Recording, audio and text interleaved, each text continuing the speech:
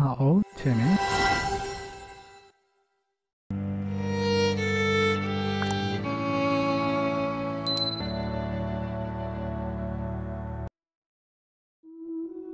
မဟာမိုးမြေ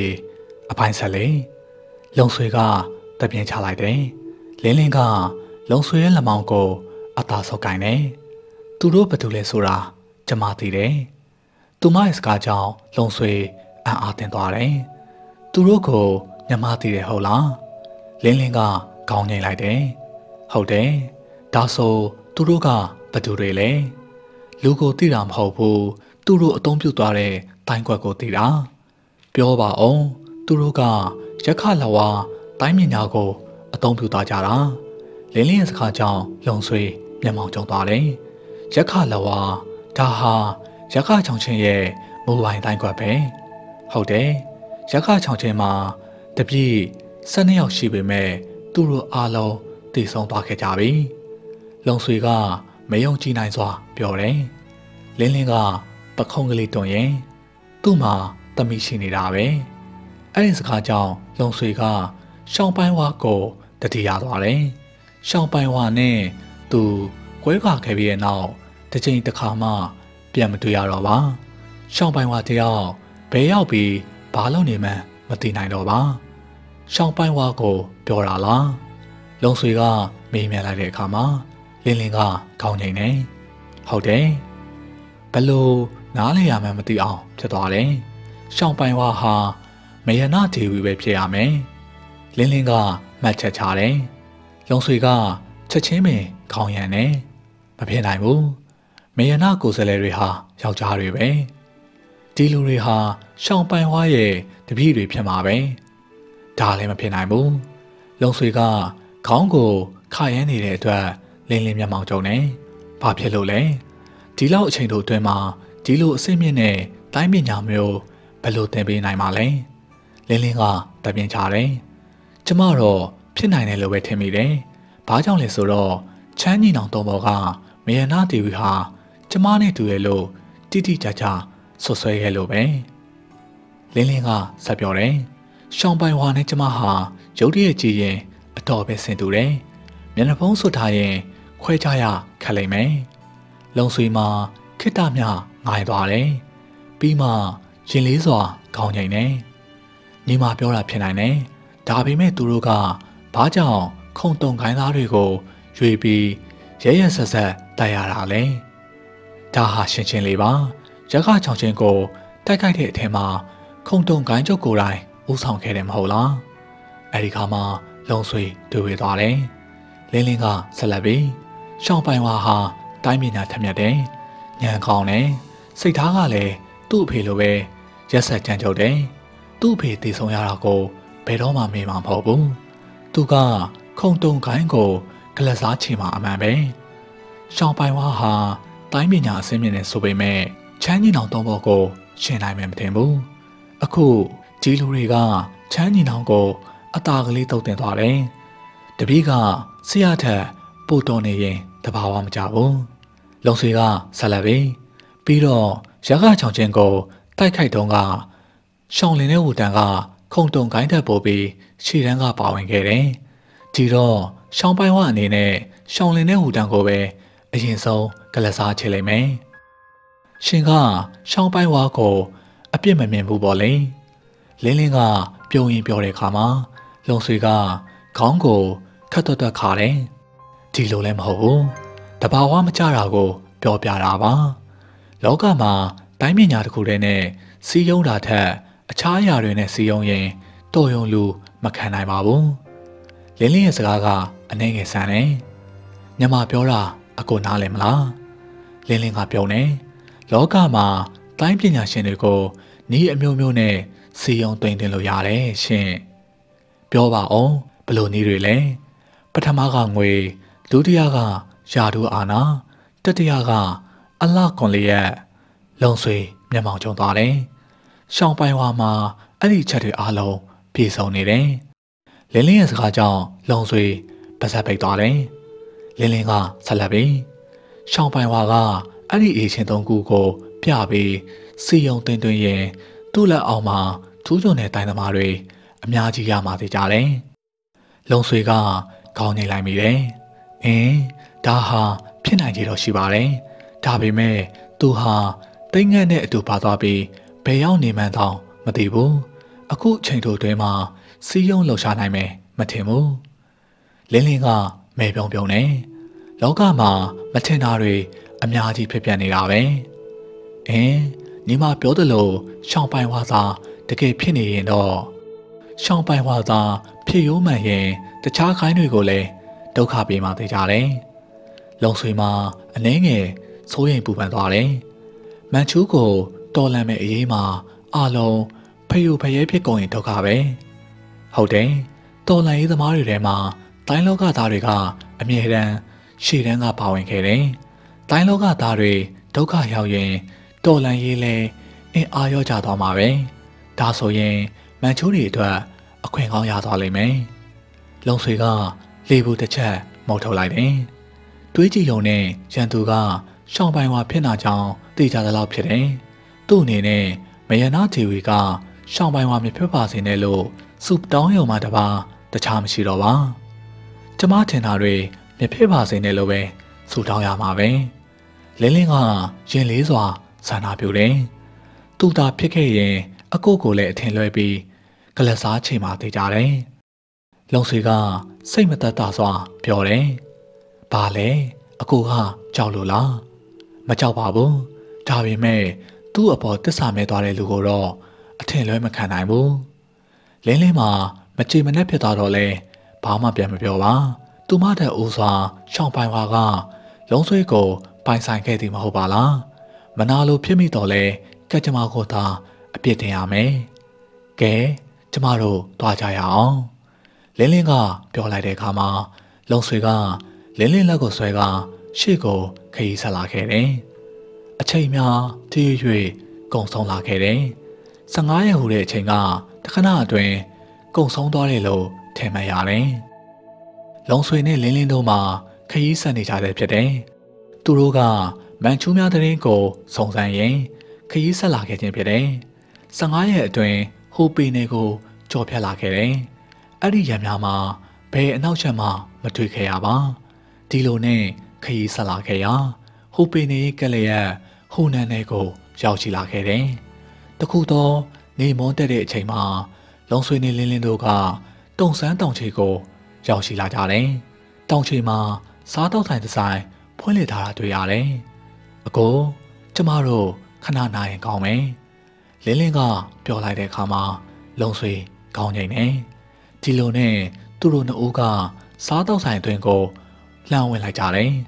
စားတော့ဆိုင်ထဲမှာလူရှင်းလျက်ရှိတယ်ဇပွဲတစ်လုံးမှာဆိုင်လူလင်လေးကငိုင်မီးလျက်ရှိတယ်လုံဆွေကဆိုင်လူလင်နိုးလိုက်ပြီး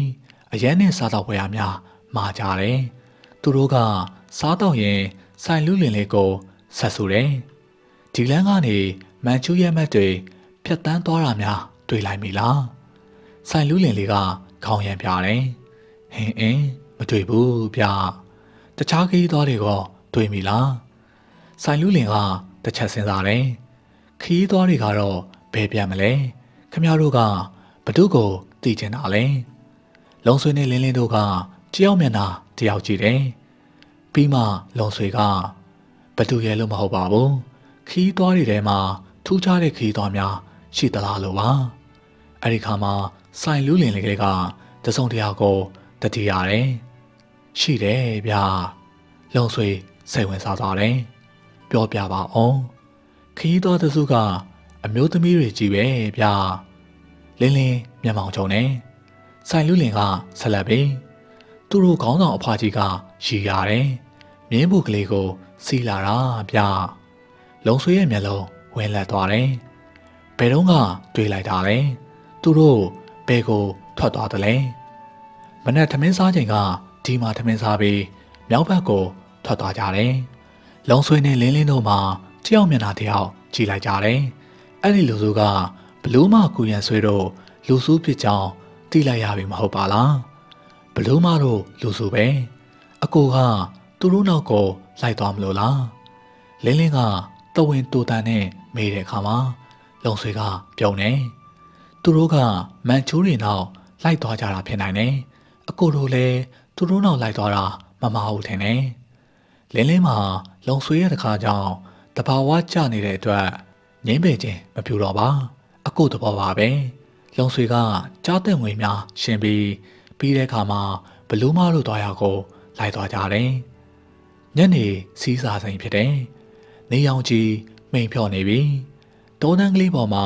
နေရောင်ကြီးဖြန့်ကျက်နိုင်စွမ်းမရှိတော့ပါတောတန်းကလေးထဲမှာစူညာကန်များထွက်ပေါ်နေတယ်လင်းလင်းနဲ့လုံဆွေတို့ကတယောက်ကိုတယောက်ကြည်လိုက်ပြီးတောတန်းကလေးအတွင်းပြေးဝင်လာကြတယ်တပင်ချုံတွေများတိုးဝင်လိုက်တဲ့အခါမှာတိုက်ခိုက်တံများပို့ပြီးကျဲလောင်စွာထွက်ပေါ်နေရကြရတယ်လုံဆွေနဲ့လင်းလင်းတို့ ဆက်ဝင်ခဲ့တဲ့အခါမှာမကြမီခွက်လက်တစ်ခုကိုရောက်ရှိလာတယ်အဲ့ဒီခွက်လက်မှာမန်ချူးစစ်တီရဲမှန်များကအဖိုးကိုနှစ်ယောက်ကိုဝိုင်းရန်တိုက်ခိုက်နေတာတွေ့ရတယ်။ဟင်အာချေမန်ချူးရဲမှန်များကိုဒလက်ကျန်းတုံးပြန်တိုက်ခိုက်နေသူမှာအာချေဖြစ်တယ်။ကြံတယောက်ကဒဏ်ရာပြင်းစွာရရှိထားရရှိတယ်။သူတို့ကိုကြော်ပေးရင်မန်ချူးရဲမှန်များကိုတတ်နိုင်သမျှခုခံနေရတွေ့ရတယ်။ မန်ချူးရဲမှန်များက12ယောက်ခန့်ရှိပြီးအာချေမှာမကြောက်မရွံ့ဒလက်ကျန်းခုခံတိုက်ခိုက်လျက်ရှိတယ်။သူ့ရဲ့ပြင်းထန်တဲ့တိုက်ခိုက်မှုကြောင့်မန်ချူးရဲမှန်များမှာအင်အားများတော့လဲအနာကိုမကန်နိုင်ပဲခက်ခွာခါကနေပြီးတာဝန်ကြီးတိုက်ခိုက်နေတယ်။ညမအကိုတို့လည်းဝင်နှွဲကြရအောင်။လုံဆွေကပျော်ပြီးတဲ့အခါမှာအာကျဲကြီးကျုပ်လာပြီဗျာ။ပြီးတဲ့အခါမှာ မန်ချူးရဲမှန်များကိုအုံထုံးဝင်အောင်တိုက်ခိုက်တယ်။လင်းလင်းကလည်းတွေ့ဝေတုံဆိုင်မနေတော့ပဲလုံဆွေနဲ့ရှေးစင်နောက်စင်ဆိုသလိုပြေးဝင်တိုက်ခိုက်တယ်။ဝုံအာအော်ဟေးညီးသွားတန်များစုညံစွာထွက်ပေါ်လာတယ်။လုံဆွေနဲ့လင်းလင်းတို့ကတွက်လက်စွာပင်ဒလက်ချမ်းဝင်ရောက်တိုက်ခိုက်တဲ့အခါမှာမန်ချူးစစ်တီများဖျို့ဖျဲဖြစ်သွားကြတယ်။မမျော်လင့်ပဲစစ်ကူရောက်လာတဲ့အတွက်အာဂျေကတက်ကြွလာတယ်။ တက်ခိုက်အားလည်းပိုတက်လာတယ်။ဒလက်ချမ်းပင်ထိုးနှက်တိုက်ခိုက်တဲ့အခါမှာဝုံအာမန်ချူရဲ့လက်များတယောက်ပြီးတယောက်လွင့်စင်ထွက်သွားတယ်။အာဂျေက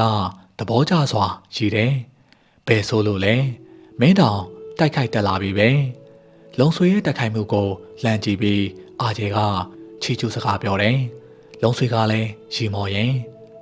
သူတို့တင်ပေးတာဗျာ။သူကလက်ထိဖြင့် တွေ့ရလိုက်လံထိုးချိန်နေတယ်။အတွင်းအားကြီးလာတဲ့သူ့ရဲ့လက်ထိချမ်းကြောင့်မန်ချူရဲ့မတ်များဒဏ်ရာအနာတရဖြစ်ကုန်ကြတယ်။မန်ချူရဲ့မတ်များကဆက်လက်မတိုက်ခိုက်တော့ပါချက်ချင်းပင်နောက်ဆုတ်ကတောအုပ်အတွင်းကိုပြေးဝင်သွားခဲ့ကြတယ်။လင်းလင်းမှာမန်ချူရဲ့မတ်များကိုအလုံးမပေးပါ။သူမကလျှက်တစ်ပြက်ခုံတက်က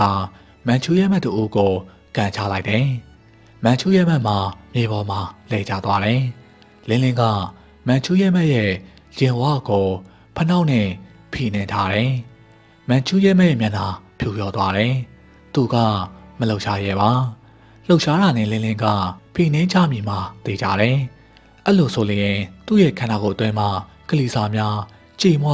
ပျက်စီးသွားနိုင်တယ်။ဒါကြောင့်တုတ်တုတ်မှမလုပ်ပါ။ရှင်တို့နေချေတွေကိုအရှင်မထားနိုင်ဘူး။လင်းလင်းကအန်ချိတ်ခါပြောလိုက်ပြီးဖနောက်ကိုဖိချရန် ပြင်တဲ့အခါမှာမလုံနဲ့ပြပြတလဲလုံးဆွေးရဲ့ဟန်သားတန်ထွက်ပေါ်လာတယ်။ဘာလို့ဖို့ဟန်တာရတာလဲ။ဒီလူတွေဟာကျမတို့နယ်မြေကိုကျူးကျော်တဲ့လူတွေပဲ။သူတို့ကိုရှင်းပြရမယ်ရှင်။လုံဆွေကခုခံနိုင်စွမ်းမရှိတဲ့လူကိုတက်ပြရမှာမကောင်းပါဘူး။လင်းလင်းကမဲလိုက်တယ်။သူတို့မှာဒီလိုစိတ်ထားမရှိဘူးရှင်။အပြစ်မဲ့တဲ့ပြည်သူပြည်သားတွေကိုနှီးမျိုးစုံနဲ့ ဒုက္ခပေးနေကြတာ။ထားပါတော့လေ။သူတို့ကိုမတတ်ပဲအရင်မေးမြန်းကြည့်တာပိုကောင်းမယ်။လင်းလင်းကမျက်နှာရှုံးမဲ့ပြီးပြောတဲ့အခါမှာအပိုရိအာချေကလည်းဟုတ်တယ်တက်ပြလိုက်လုံဆွေကတောင်းပန်နေမလောက်ကြပါနဲ့ဗျာလူတယောက်အသက်ရခဲ့ပါလေရှင်ကသူတို့ကောင်းစိတ်ထားနေတနေ့သူတို့ကရှင့်ကိုတတ်သွားလိမ့်မယ်ရှင်သိရလား အဲ့ဒီခါမှာလုံဆွေကလက်ခါပြတယ်ထားပါတော့ဗျာလင်းလင်းကမကြည်မနှက်ခြေထောက်ကိုဖယ်ရှားပေးလိုက်တယ်မန်ချူးစစ်တီမှာတုံတုံရင်ရင်နဲ့ထားရလိုက်ပြီလုံဆွေကတိတိကျကျကြည့်တဲ့အခါမှာအဲ့ဒီလူကမန်ချူးမဟုတ်ပဲဟန်လူမျိုးဖြစ်တာတွေ့ရတယ်။လက်ဆက်တက်တော့ခမကဟန်လူမျိုးကိုရဲမက်ကခေါင်းငုံသွားတယ်။အဲ့ဒီခါမှာလုံဆွေကခမဟာ ဟန်လူမျိုးဖြစ်လျက်ဟန်လူမျိုးဘက်ကမပါပဲမန်ချူးဘက်ကပါနေပါလား။ခမမန်ချူးတွေစီမှာအမှုထမ်းလို့ဘလောက်ငွေကြေးရမလဲ။ခမငွေကြေးမပစ်ဆောက်လေးအတွက်ကိုယ်နိုင်ငံကိုလူမျိုးကိုတစ္ဆာဖောက်ရသလားခမရဲ့လောရက်ကို ပြန်စင်းစားကြည့်စမ်းခမရဲ့မိသားစုဂုံတိတ်ခါကိုမငဲကွက်ပါလားရဲမဲရဲ့မျက်နှာညီရဲသွားတယ်အကြီးအကျယ်ရှက်သွားတယ်လုံဆွေကဆက်လက်ပြီး တနိုင်ငံလုံးဒီပါမန်ချူရီလက်ရောက်နေတဲ့အချိန်မှာအားလုံးကမန်ချူရီလက်ကလွန်မြောက်အောင်စူးစမ်းရမယ်ခမဘွားဟာမန်ချူလက်ကင်တော့ပဲခမည်းသေးလို့လဲဘသူမှနှမျောတတချာမှာမဟုတ်ဘူးအေးတကယ်လို့သာခမည်းကမန်ချူတွေကိုရိုးရိုးချွတ်ချွတ်ရင်ဆိုင်ပြီးတေခဲ့ရင်ခမည်းကိုလူတိုင်းကလေးစားကြမယ်ခမည်းမိသားစုခုံတိတ်ခါလဲမြင်မာလာမှာပဲလောကမှာ ငွေကြေးရာတို့ဟာအထူးကမဟုတ်ပါဘူးကိုယ်နိုင်ငံကိုလူမျိုးနဲ့လောလတ်စွာနေထိုင်ရဖို့ကအရေးကြီးတယ်ကျုံဘဝမှာချမ်းသာဒုက္ခတွေဟာဘာလုပ်ရမှာလဲတပားကြုံဖြစ်နေကိုလူမျိုးကိုဖိနှိပ်ရက်ဆက်ရမလားခေါင်းငုံမခံတော်လန်မလားခမရလဲစဉ်းစားနိုင်တဲ့လူတယောက်ပဲတည်တည်ချာချာစဉ်းစားကြည့်ပါရဲမဲရဲ့မျက်နှာညှို့နှံသွားတယ်သူကလုံဆွေးရဲ့စကားကိုနားထောင်ရင် နောင်တရလာတယ်သူ့ရဲ့မျက်ဝန်းမှာမျက်ရည်များစီကြလာတယ်ကျုပ်ကျုပ်မားခဲ့ပါတယ်ဗျာအဲ့ဒီရဲမက်ကစိုးနစ်စွာပြောတယ်။လုံဆွေကပြုံတယ်။အမားကိုတည်ရင်အမှန်ပြင်ဖို့ဘာမှမခဲရင်ပါဘူးဗျာ။ခမည်းကိုမျိုးချစ်တိုင်းသမားတွေကလက်သွဲဖို့ကြိုးဆိုနေကြမှာပါ။ကျုပ်နောင်တရပါပြီဗျာ။ရဲမက်ကပြောရင်ကိုပေါ်မှာရှိတဲ့ မန်ချူရဲမက်ဝတ်စုံကိုဆွဲချုပ်ခါလွန်ပြတယ်။ပြီးတဲ့အခါမှာလုံဆွေကိုလေးစားစွာဦးညွတ်တယ်။ကျုပ်ကျူးလွန်ခဲ့တဲ့အဖြစ်တွေမနေပါဘူး။ခမည်းနောင်တရပြီမဟုတ်လားဆက်မကျူးလွန်တော့ရင်ပြီးတာပဲကျုပ်ကျင်တတ်ပါပြီကျုပ်နာမည်တူဝေပါကျုပ်အမားအတွက်မန်ချူရဲမက်တရားပြေအောင်ကျုပ်ပြန်ပြီးတုတ်တင်ပါမယ်ရဲမက်ကပျော်ပြီးတဲ့အခါမှာနေရာမလှဲ့က ထွက်ပြေးသွားတယ်လုံဆွေကအာချဲဘက်ကိုလဲပြီးအာချဲကသူ့မိတ်ဆွေအဖို့အိုကိုကုသပေးနေတယ်အဲ့ဒီလူကမျက်ခုံးမွေးများဆွတ်ဆွတ်ဖြူနေတယ်လုံဆွေမှာအဲ့ဒီမျက်ခုံးမွေးဖြူကြီးကိုတွေးလိုက်ရတဲ့အခါမှာအံ့ဩဝမ်းသာဖြစ်သွားတယ်။ဘာဘာဝမ်းသာစွာခေါ်တယ်။အဲ့ဒီလူကကြည်တယ်။အော်မင်းကိုထို့သူကတိမ်ဖြူကိုင်းမှသူကိုင်းကြုံမင်းဖြစ်တယ်။ သူ့ရဲ့နာမည်မှာပြောင်းနေပြီ။အားလုံးကသူ့ကိုမျက်ခုံးဖြူလို့သာခေါ်ကြတယ်။လုံဆွေနဲ့နေပြည်တော်မှာပင်တွေးဆောင်ရင်းနေတဲ့လူတစ်ယောက်ဖြစ်တယ်။မျက်ခုံးဖြူကလုံဆွေကိုရွှေသားဧကန်ကလိုက်ပါပို့ဆောင်ပေးရန်ဂျားဝင်ပြောပေးသူလည်းဖြစ်တယ်။ရွှေသားဧကန်နဲ့အလွန်ရင်းနေသူဖြစ်တယ်။လုံဆွေကလင်းလင်းနဲ့အားလုံးကိုမိတ်ဆက်ပေးလိုက်တယ်။လုံဆွေရဲ့မိတ်ဆက်ပေးမှုအဆုံးမှာအာကျဲကမ င်းတို့ကဘယ်လိုရောက်လာတာလဲ။လုံဆွေကလိုရင်းကိုသာရှင်းပြတယ်။မန်ချိုးတွေတင်စုံစမ်းရင်ဒေါတော့တင်ရတာနဲ့နောက်ကလိုက်လာခဲ့တာပါ။အိုရိုကရောကျုပ်တို့လည်းရွှေသားအီကွမ်တည်ရလို့လိုက်လာရင်နောင်းလိုက်ခွေတွေနဲ့တွေ့တာပဲဒါဆိုရင်နေဆက်လာပါပြီသူတို့ဟာရှေ့မှာရှိနိုင်တယ်လုံဆွေကစိတ်အားထက်သန်စွာပြောတယ်အာကျဲကတစုံတရာကိုတတိရလာတယ်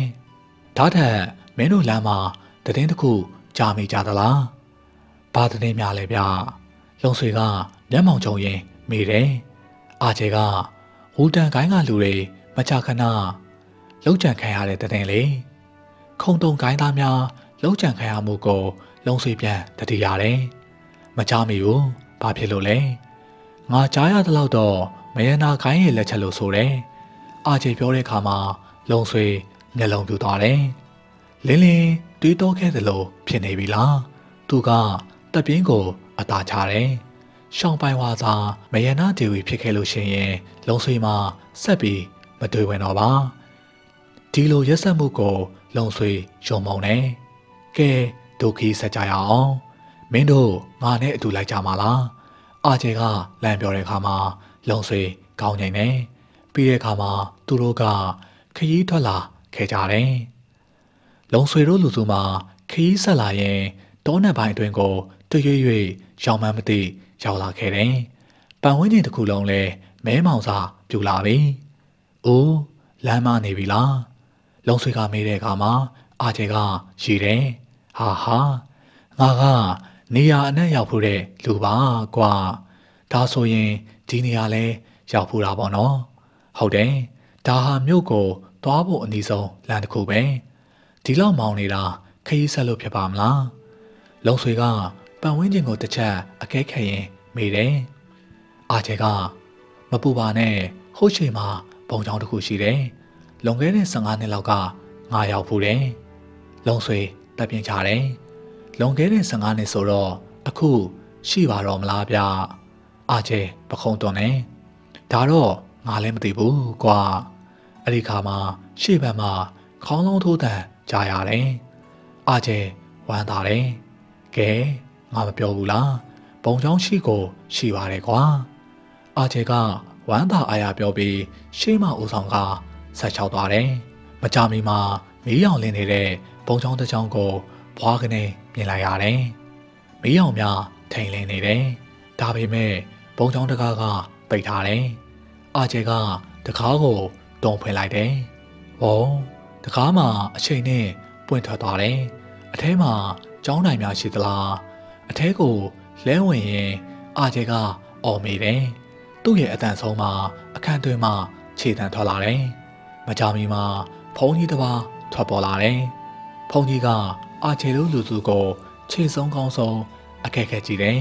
။တခါတော့လူကောင်းတွေမှာဟော်ရဲ့လား။လုံဆွေကပြပြတလဲ လက်အုပ်ချီတယ်။လူကောင်းတွေပါဗျာ။ဖုန်ကြီးကမဲတယ်။ကျုပ်တော့မထင်ဘူး။တခါတော့ဟာလူကောင်းဆိုရင်တခါဟောဘာလို့အရင်တုံးဖွင့်ရတာလဲ။တပည့်တော်တို့လောချီမိတာခွင့်လို့ပါလုံဆွေကပြပြတလဲတောင်းပန်နေအာကျဲကဘုန်းကြီးကိုပြန်လဲအခဲခတ်တယ်ကိုတော်ကဒီเจ้าကကြောင်းနိုင်လားဘုန်းကြီးကမျက်မှောင်ကြုံပြီးခေါင်းငိန်နေဟုတ်ပါတယ် ဒီမှာနေတာဘယ်လောက်ကြာပြီလဲ။ဖုန်ကြီးကစိတ်တူသွားတယ်။ဧည့်သည်ကပြန်စစ်မေးနေပါလား။အရင်ကျောင်းနိုင်က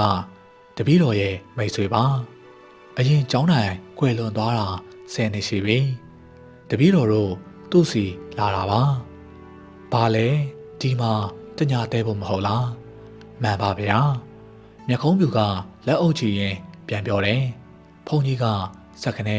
ခေါင်းငိမ့်နေတယ် ခေါင်းမီဟောဟိုအခန်းမှာနေပါဖုန်ကြီးကအခန်းတစ်ခုဖွင့်ပေးပြီးနေရာချပေးတယ်တခဏကြာမှဖုန်ကြီးပြန်ရောက်လာတယ်သူ့ရဲ့လက်ထဲမှာစားတော့ဖွယ်ရများနဲ့အငွေတရောင်းတောင်းထနေတဲ့ခြေမွေးအိုးပါပါလာတယ်။ကဲစားကြအောင်ဒီနေရာကခေါင်းတော့ဒီလောက်ပဲတက်နိုင်တယ်။လုံဆွေကစတင်စားတော့ရင်ဖြစ်နေ။အဲဒီခါမှာခဏနေအောင်လင်းလင်းကဟန်တာပြီး ခေါင်းမငွေစတိုးကိုဖြုတ်ကအစားတော့များကိုစစ်ဆေးတယ်။အစိတ်မပါမှန်းတည်ကြတဲ့အခါမှာစိတ်ချလက်ချစားတော့လို့ရပါပြီ။လင်းလင်းကငွေစတိုးကိုခေါင်းမှာပြန်ဆိုင်ပြီးပြောတဲ့အခါမှာလုံဆွေတို့လူစုလည်းဆဆာနဲ့ဟမ်းမေးမဆောင်နိုင်ပဲ